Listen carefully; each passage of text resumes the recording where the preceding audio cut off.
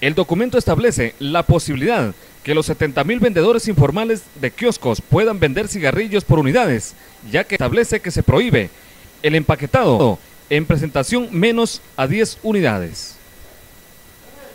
Tendrán prohibición para los fumadores todos los espacios públicos y privados cerrados de trabajo, acceso público, dependencias de salud y educación a todo nivel, destinados a actividades deportivas, medio de transporte público y terminales terrestres, marítimo y aéreo, con excepción de los espacios destinados específicamente para estas personas.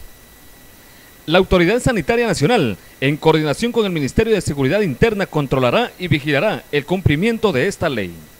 El proyecto determina el control de la promoción y acción, así como el contenido de la educación para la prevención y las facultades de la Autoridad Sanitaria Nacional en el proceso de adicción.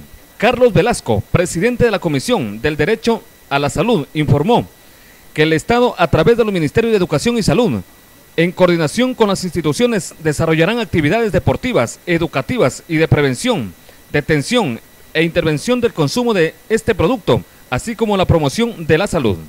El artículo establece multas de una a cinco remuneraciones básicas unificadas para las instituciones o locales que incumplan las prohibiciones señaladas en la ley y en caso de reincidencia de 6 a 10 remuneraciones básicas unificadas.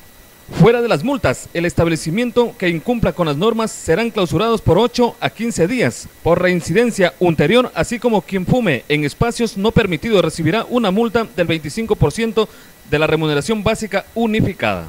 Los fondos resultados del cobro irán a una cuenta única del Tesoro Nacional para el uso exclusivo del programa de control del tabaquismo. El proyecto será emitido al Ejecutivo para que pueda emitir sus observaciones.